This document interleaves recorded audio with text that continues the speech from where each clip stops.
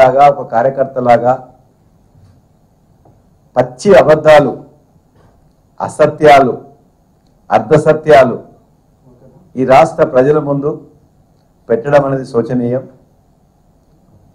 రైతులందరినీ ఉద్దేశించి రైతాంగానికి సంబంధించిన అన్ని అంశాల మీద కూడా పచ్చి అబద్ధాలు మరలా మాట్లాడడం అనేది కూడా దురదృష్టకరం. ఒక దేశ ఆర్థిక మంత్రి ఒక రాష్ట్రంలో పర్యటిస్తుందంటే ఇక్కడున్న ఆర్థికవేత్తలు కానీ మేధావులు కానీ లేక మధ్యతరగతి జీవులు కానీ మా ప్రెస్ మిత్రులు కానీ చాలా ఎక్కువగా ఊహిస్తారు. దేశం యొక్క ఆర్థిక ప్రగతి ఏ విధంగా ఉన్నది? ఆర్థిక ఎకానమీని పరిస్థితిని ఎట్లా లివరేజ్ చేసుకోవాలి? జీడిపిని ఎట్లా పెంచుకోవాలి?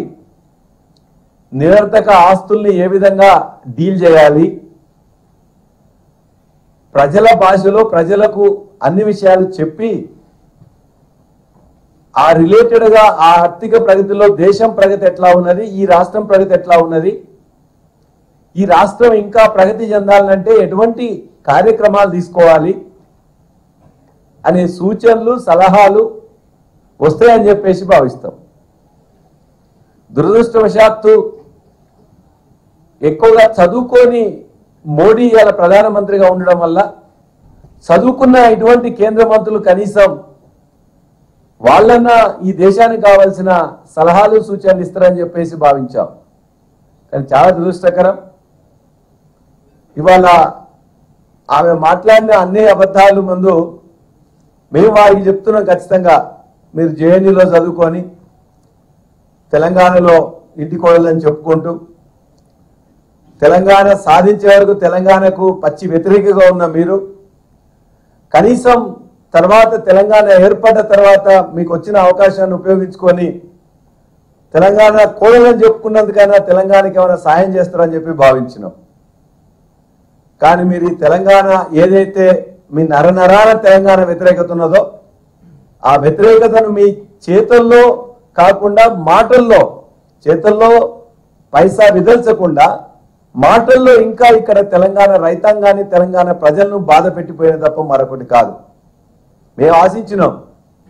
రెండు వేల పద్నాలుగులో మా మా ఆర్థిక స్థితి ఎట్లా ఉన్నది మా జీడిపి ఎట్లా ఉన్నది మా పర్ క్యాపిటల్ ఇన్కమ్ ఎట్లా ఉన్నది అవన్నీ మీరు చెప్తారని చెప్పి భావించినాం. ఇవాళ దేశ యావరేజ్ పర్ క్యాపిటల్ ఇన్కమ్ ఒక లక్ష నలభై తొమ్మిది వేలు ఉంటే ఇవాళ తెలంగాణది రెండు లక్షల డెబ్బై ఎనిమిది వేలు ఉన్నది. పర్ క్యాపిటల్ ఇన్కమ్ దేశానికంటే డబుల్ ఉన్నది ఆల్మోస్ట్ లక్ష నలభై తొమ్మిది వేలు ఎక్కడ? రెండు లక్షల డెబ్బై ఎనిమిది వేలు ఎక్కడ? ఇది తెలంగాణ సాధించిన ఘన విజయం. ఇవాళ డెట్ జీడిపి రేషియో అంటాం.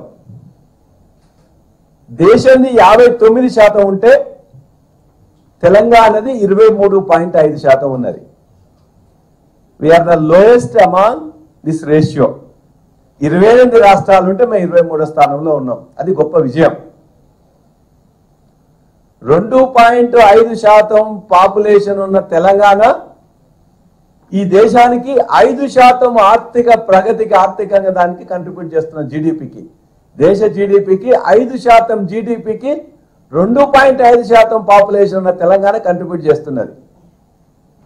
అంతేకాదు భారతదేశ జీడిపికి అగ్రికల్చర్ నుంచి వచ్చే కంట్రిబ్యూషన్లో ఈ తెలంగాణ నెంబర్ వన్ సిక్కిం గురించి నెంబర్ వన్ అని చెప్తారు మేము నెంబర్ టూ అని చెప్తారు బట్ సిక్కింని ఆరు లక్షల జనాభా ఉన్న సిక్కిం. కాబట్టి విఆర్ నెంబర్ వన్ అని చెప్తాం. Agriculture contribution to Indian GDP this is as per Ramesh Chandra Niti Aayog అతని రిపోర్ట్ ప్రకారం. నీతి ఆయోగ్ సభ్యుడు ప్రొఫెసర్ రమేష్ చంద్ర చెప్పిన ప్రకారం గత దశాబ్ద కాలంలో తెలంగాణ యొక్క వ్యవసాయపు కంట్రిబ్యూషన్ భారతదేశ జీడిపికి number one that is number అది మీరు గుర్తించాలి. రెండు పాయింట్ ఐదు శాతం ఉన్న జనాభాది ఐదు శాతం కంట్రిబ్యూషన్ దేశ జీడిపికి అది గొప్పతనం. రాష్ట్ర గ్రోత్లో నెంబర్ వన్ పర్ క్యాపిటల్ ఇన్కంలో నెంబర్ వన్ డెట్ జీడిపి రేషియోలో ఏదైతే ఎంత తక్కువ ఉండాలో అంటున్నాం గిన్ని మంచి సుగుణాలున్న ఈ యొక్క రాష్ట్ర ఆర్థిక ప్రగతి గురించి అబద్ధాలు చెప్పినావు. ఎట్లా అబద్ధాలు నిర్మలమ్మ? ఎట్లా చెప్ప చెప్పబుద్ధి అయింది మీకు? మేము ఛాలెంజ్ చేస్తున్నానని చెప్పిన దాంట్లో ఒక్క తప్పున్నా కూడా నేను క్షమించమని నేను ముక్కు రాస్తా నేలకు.